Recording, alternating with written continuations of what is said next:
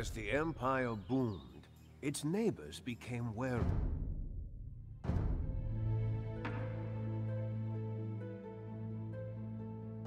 As the Empire boomed, its neighbors became wary. They knew that the growing tiger will gorge itself on the prey that it deems most vulnerable. Some dreaded the looming war and prayed that their fears were unjustified. Others prepared for it.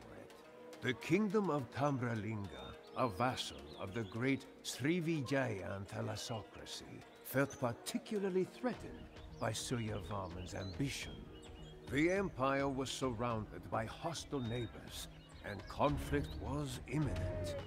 It seemed that the only thing left to question was who would strike first. Suryavarman was wise enough to know that passivity would only lead to disaster. The various Burmese kingdoms to the west of the Empire were hostile, but a potential ally lay beyond. The Cholas, a powerful dynasty based in the south of the Indian subcontinent, also desired to bring about the downfall of the Srivijaya. Dispatching an envoy laden with gifts could be enough to convince Rajendra Chola that an alliance with Suryavarman would be to his liking.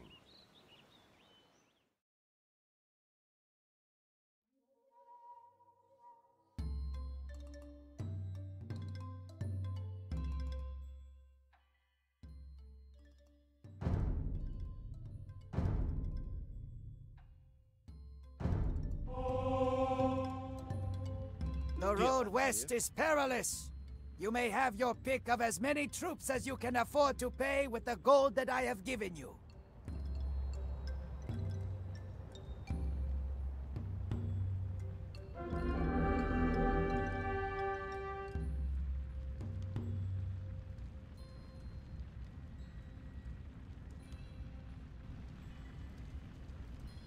These elephants will crush all that stand in your way.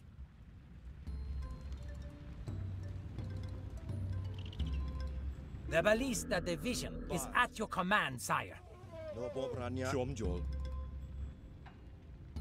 We have the men we need. Onwards! The bridge west has been repaired for us. But... No Bob Rania.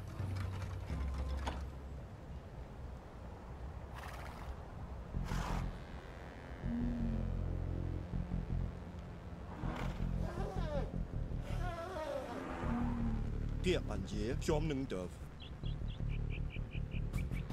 Bạc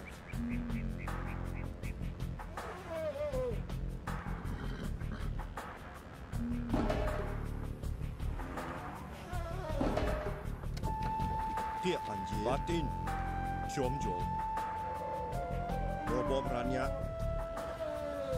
Bạc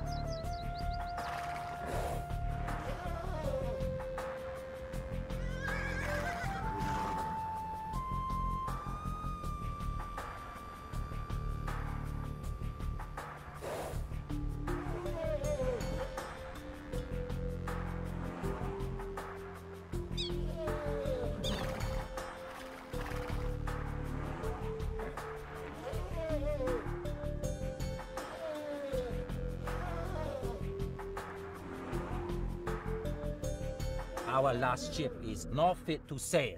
These scouts will help you find another way to cross the river.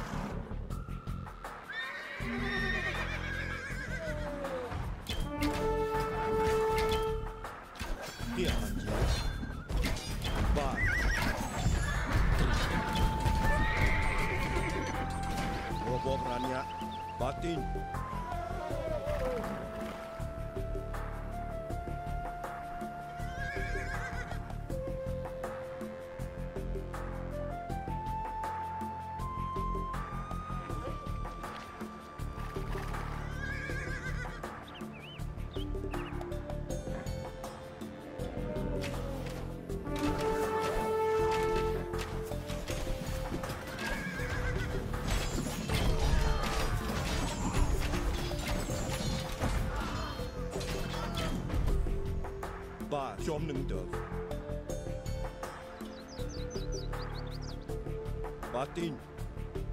With these ships, we will seize control of the water and send any enemy vessels to the bottom of the river.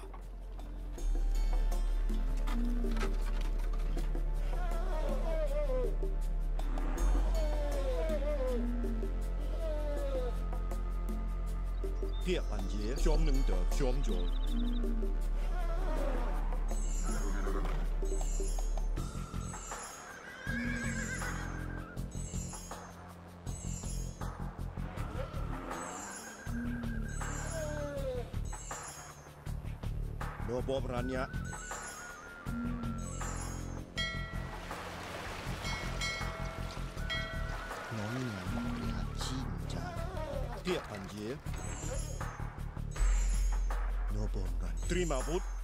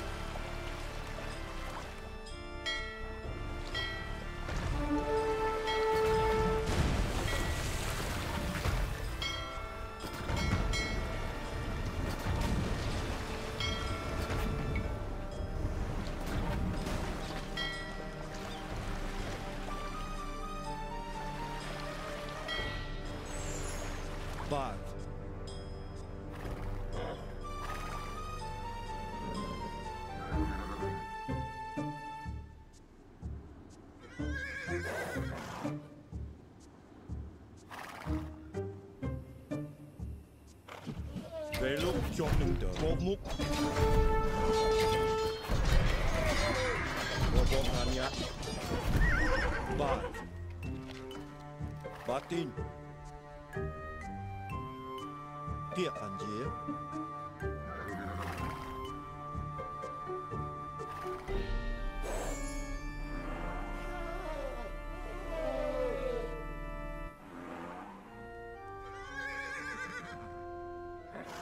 No bom rania. Chom jol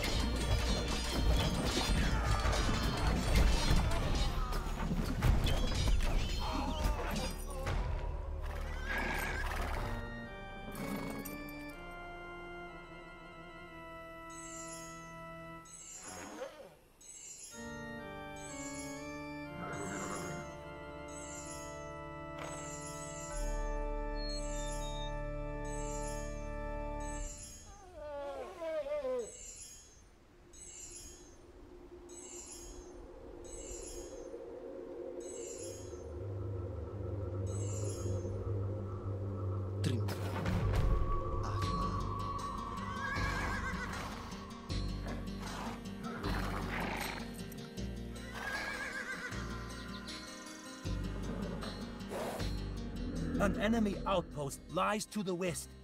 I would advise you to take the southern route.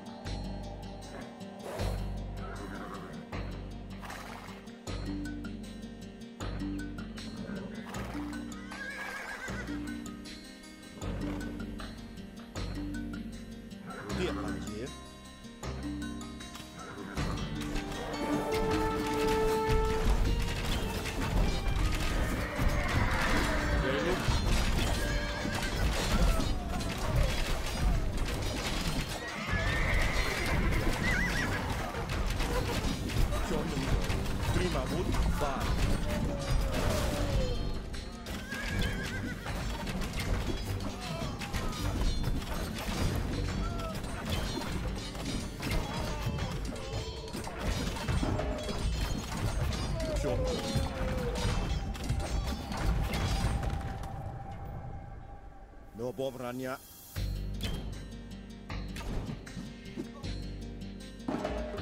Plim, Dia panji batin. Piepatje. Plim, plim.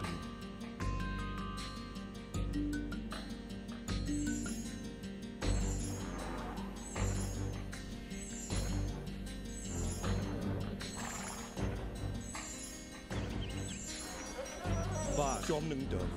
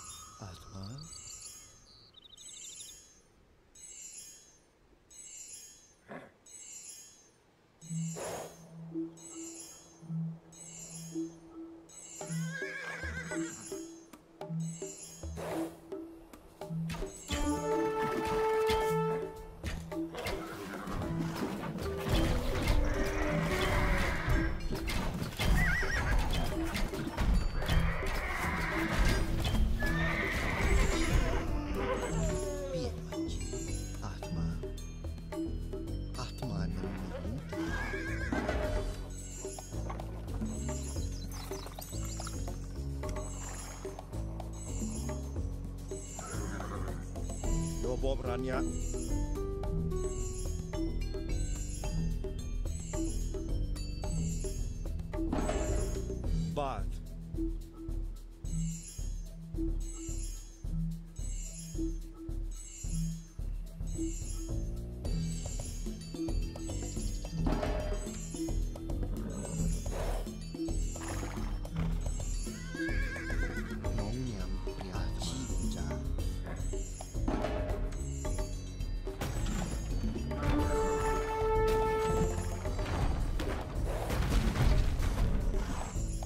bom rannya.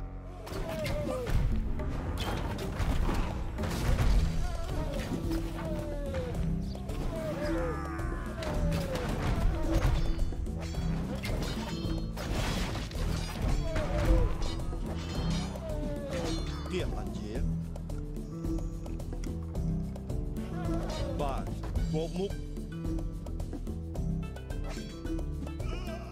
Dia anjir. Terima, Wun. Thank you.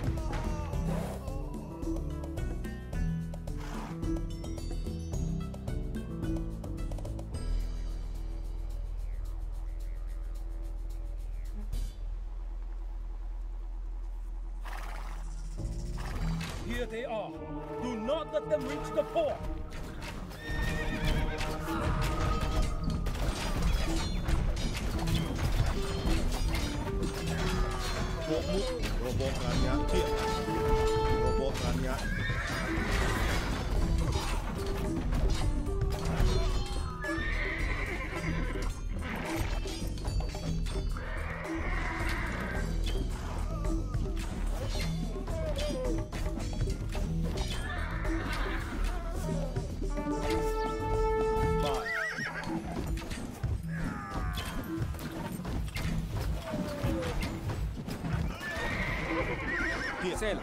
Book me passage on the nearest ship bound for Chola lands.